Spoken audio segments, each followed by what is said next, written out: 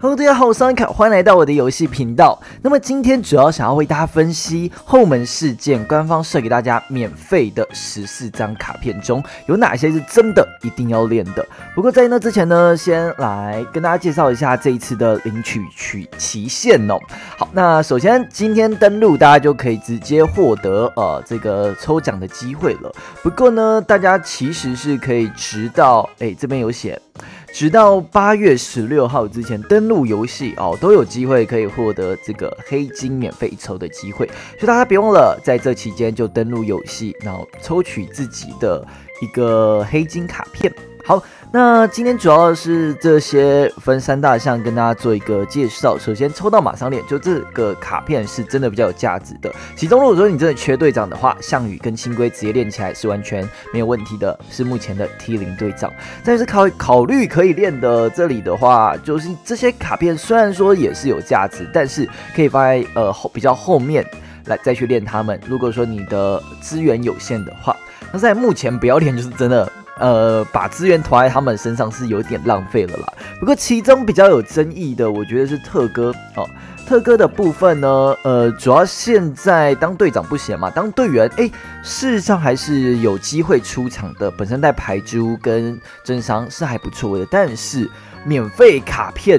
就有可以取代他的啦，像是马修哦，就自带一个牌珠，还现在两回合。然后，更是他本身在搭配完他自己的武装龙科之后，那个强度就起飞了。所以现在比较多你水队会用到的牌组，反而是会用上马修这张卡片，更甚至。还有这种免费的双周副本啊，机械化也是不错的。所以事实上，如果特哥他现在仅仅只有为队伍带来排珠的一个功能的话，有太多卡片可以取代它了。所以目前来讲，我觉得不是把它放在优先考虑链的选项之一。但总而言之呢，接下来我们第二阶段更是会深入的跟大家介绍这些使用的卡片究竟要怎么样去搭配，以及怎么样去使用。那么再来，我们用个别卡片跟大家介绍一下。那首先是铁扇的部分，大家都知道它是一个神卡，但它主要要跟哪些队长去做搭配呢？首先第一个，现在最常见的就是放进项羽里面作为队员，然后再搭配上呃像是妲己哦、铁九牛哦这种组合。所以你有九峰王啦，或者是你有西游神系列，都很建议把铁扇直接把它练起来。甚至妲己本身当队长。队员放上铁扇，那个强度也是非常可怕的。那近期呢，呃，秦始皇的强度不够，像这种是可以借卡，然后带上铁扇公车组合的一个队长的话，也是非常适合把铁扇给练起来。然后再是纯魔族的话，夏娃现在主打着魔族最狂血量的队长。那队员带上铁扇，自然让夏娃的血量更狂之外，伤害也往上提升一个档次。所以，如果你有这些卡片的话，我非常建议你就直接把铁扇给练起来，它都能够在这些队伍里面，呃，这跟这些卡片去做一个搭配。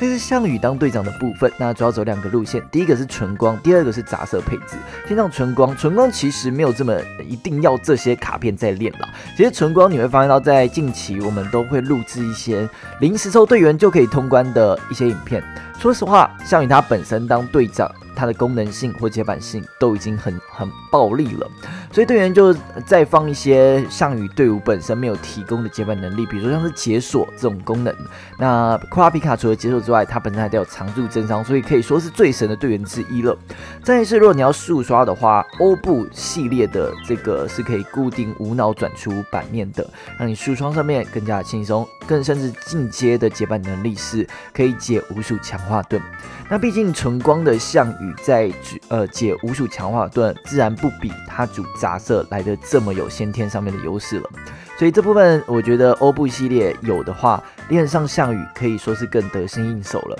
在第三个纯光的路线走法是机械化。那机械化呢，如果你有抽到。阿尔冯斯，或者是原本就有西魔这种好用的免费卡，其实机械化有蛮多都呃是免费的双周副本卡片，所以机械化的项羽也是一个暴力的队员的主法。总而言之，项羽的呃光队牛棚可以是免费的，也是可以玩得起来的。然后再来的话，在呃杂色的部分，现在主要主打的是以铁三五跟九凤王还有西游神的一个搭配。那我会真的非常建议你们，就是有铁扇在考虑把项羽组杂色的。不然那个强度真的会低非常多，可能你在打简单的关卡没有感觉，但一旦是比较难的，比如像时空的 extra，你会发现到它是真的是非常仰赖铁扇这为主的队伍搭配。所以如果说你没有铁扇的话，那反倒你也还是可以去玩光纯光的一个主法。所以其实项羽他走的路线是非常广的。好，再是庞贝的部分，庞贝现在主要比较当队员，做一个呃无脑解拼图盾的角色卡。那它可以放进现在一趴大奖西蒙作为队员，除了刚才提到的解拼图的功能之外，它更象征着它有无脑。呃，一个固定的版面可以让西魔在面对更多，比如像是粘着符石或者是三鼠强化盾这种呃固定版庞贝固定梗版面可以解决的一个狙拔盾。所以西蒙我会觉得庞贝是一定要练起来的，实在是太好用了。那再是呃爱德华，像那种机械族的队长，其实都是可以带上庞贝作为队员无脑接班。不过要注意的是，其实庞贝在机纯接族一个最大的功用就是在解拼图盾了。那拼图盾对应到的是现在的种族拼图盾，可能纯机械没有办法解决的情况，用庞贝都可以去做解决。但事实上，呃，机械族有初音龙科的话，我会觉得你庞贝就真的没有这么急着一定要练起来了，因为初音龙科就可以直接无脑的把拼图盾给无视掉了。所以，呃，要不要练庞贝？我觉得在纯机械族的考虑来讲，第一个，如果你有。呃，出一龙科的话，我觉得就真的，呃，庞贝是可以放在比较后面去练他的。好，那在呃，像可以借卡的角队长，那我觉得也是可以带上庞贝是没有问题的。那么紧接着为大家介绍也是非常值得练的队长青龟。青龟它主打的是在一进场就可以全部技能跳起来无脑速刷。那在这个情况下，其实你只要检查你的背包里面龙族卡片够多，青龟就值得练了。那青龟呢，其实在解决比较难的关卡，自然还是要靠更强力的结伴。所以我会觉得你至少至少一定要有巴哈姆特龙，再把青龟练起来，可能才是比较划算的投资，因为。呃，巴哈姆特人除了代表着队伍血量比较多之外，还有它本身带有呃龙族唯一的解锁功能，以及带有增伤，这些都是嗯巴哈姆特龙呃其他卡被无法取代的地方。所以我觉得有青龟有巴哈龙，其实你就已经是有一对目前 T 零的龙队队长了，剩下的都真的只是加分做使用而已了。好，那再来的话，贾比尔，贾比尔其实比清规绑定那种专武的条件更低了。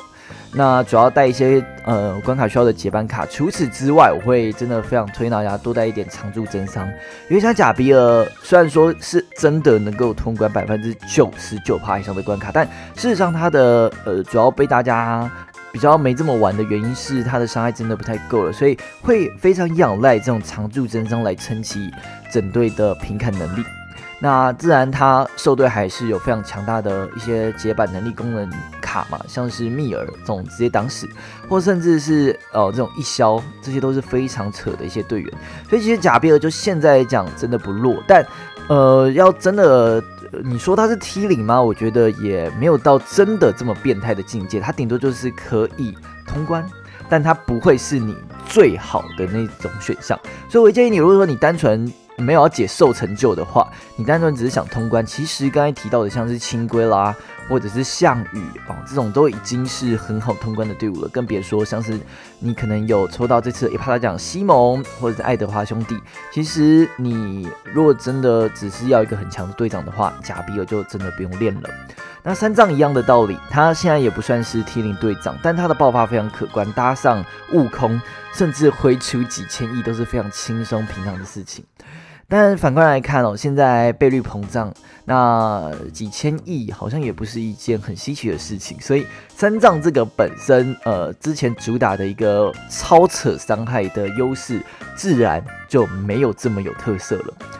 所以呃，现在三藏我是比较偏不推荐练的一张队长啦，毕竟他的队伍技能还是太仰赖种族除了，更甚至没有悟空。我真的觉得你就真的不用练三藏了，因为强度真的低非常非常多。不过这边有一个比较特别要跟大家介绍的组队方法，就是可以搭上铁扇以及九风网。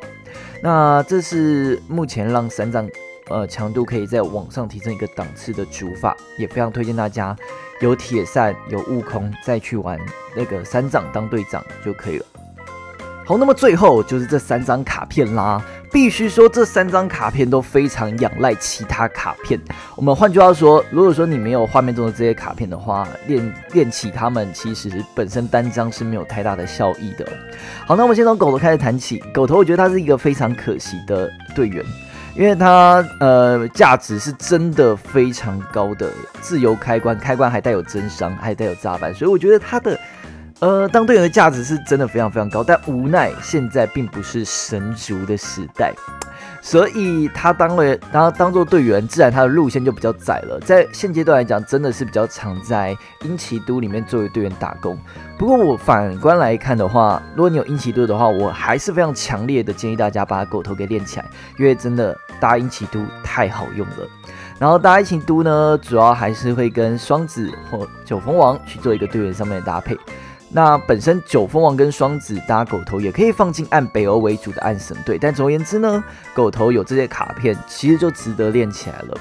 那呃，再有更多的话，纯神队伍欧布是不需要狗头的，因为欧布本身就呃主要靠欧布为主的合作配置，所以纯神族现在能玩的大概只剩下上古诸神吧。上古诸神，如果你想解神族成就的话，或许。可以考虑带上狗头，它整体的血量跟强度会上升一个档次。它也可以跟埃及黄泉去做一个队伍上面撑血量啦，或者是转属上面的搭配。所以这两个算是比较进阶的用法吧。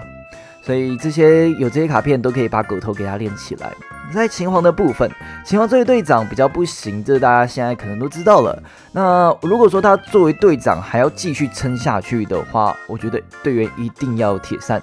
那除了铁扇之外呢，还有九凤王跟妲己，这主要是现在秦始皇比较 OP 的队员选项。那有这个的话，我觉得至少还可以再撑半年吧。如果你有这些队员的话。不过现在纯按魔族的秦始皇真的不行了啦，因为血量就真的太薄了。那近期也出很多这种无视减伤的仙功，所以这种直接呃血量就下去了，更别说他的伤害也在目前来讲顶多就是 T 二中间到 T 二尾巴的一个程度，所以已经。呃，秦皇现在当队长的强度是不推荐大家去练的。那当队员的话，其实也可以到英奇度里面作为打工，毕竟固定转板加上还原版面，这个主动技能的价值还是太 OP 了。所以秦皇的话，现在就两条路哦，就是当英奇度的队员，或者是当队长，你一定要有铁九牛哦，不是铁九牛，铁扇呃九峰妲己的组合。再来是大奶的部分，大奶现在作为队员能放的地方其实比较少了。因为像是后来兴起的队长，其实他本身的队伍技能就自带解无数强化盾的功能。我们举个例子哦，像是项羽组杂色就可以天降无数强化了，更别说像是兴起的南娜，南娜它本身消 L 型的水珠形状就可以直接无视掉无数盾了。所以你会发现到新出的队长都努力的在队伍技能上面克制无数强化盾，所以呃，在这个发展的情势情况下。自然，大奶作为队员的价值就没有以往来的这么高了。不过，还是有些队伍是非常仰赖他的，像是爱德华或是初音这种可以带上人类的队长。那队伍又没有直接破五鼠强化盾这种功能，自然是可以带上大奶。尤其爱德华，他到作为双队长的话，只要整版是强化猪，他的天降又会再更多一点了。所以这时候搭上大奶，不只是一个带接班的能力，更是一个增伤的代表。那以纯水水人为主的孙策。那自然大家都知道，四消很难消到无数盾，动不动就给你卡住之类的，所以这时候直接破无数盾的大奶，自然是孙策真的很必要的结伴功能队员之一了。然后再是像罗伊这种哦，罗伊他本身，呃，你们有玩过就知道，他呃会有很大量的火珠出现在场面上，那水珠也会被炸掉。在这个情况下，难道呃罗伊要自然的解无数强化盾？搭上大奶是真的非常非常轻松的，所以在这些呃卡片作为队长的情况下，我仍然非常推荐大家把大奶练起来，至少是一个真的不错的结伴功能卡。最后这部分是留给游王的，因为有蛮多人问我说：“哎，究竟要哪些要练复制人？”我老实讲啦，其实这个黑金都不太需要练复制人，都真的练一张就好了。那至于呃，有些人会问啊，我抽到复制人项羽，抽到复制人清规，要不要练？我觉得。就以你呃平常的情况下是不会真的需要带到复制人啦，因为一来是项羽的 CD 偏长，二来是如果清规的话，其实你会发现到他在玩的话是比较队员是要要求带更多的结板能力卡的，所以复制清规可以说是没有什么效益啦。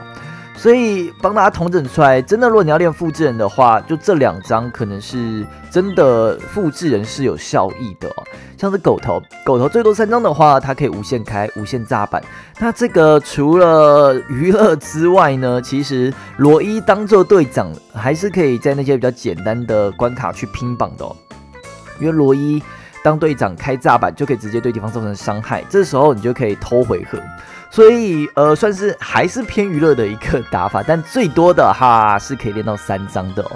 那再是庞贝复制人，现阶段来讲是真的比较没有用了，因为之前我们练庞贝复制人，是因为他作为队长的队伍技能是只有庞贝才可以挥出他最多的追打数，所以他当队长练整队庞贝，你会发现到就是 六十六下的极限追打，在那个时候就是主要的火力来源了。所以现在如果庞贝当队长就没什么人要玩，甚至强度不高的话，那自然练复制人就没有什么必要了。那如果说你真的要练复制人的话，我会觉得等官方强加强庞贝再说吧。对，所以现在来讲还是复制人的效益是不高的。那这是两张我觉得有机会是练复制人的一个卡片。好的，那么今天的影片在这边告一段落啦。那非常感谢大家的观赏，祝大家都能够抽到自己想要的免费黑金。如果说有什么影片中没有提到的更多你呃有疑问的地方，也都欢迎在底下留言。呃，我有空的话都会回复大家。那也别忘了在离开之前留下一个喜欢，让我知道你们喜欢这样子的影片。可以按下订阅按钮以及旁边的小铃铛，可以看到更多的分析影片。那么就谢谢大家的观赏，我们下部影片见，大家拜拜。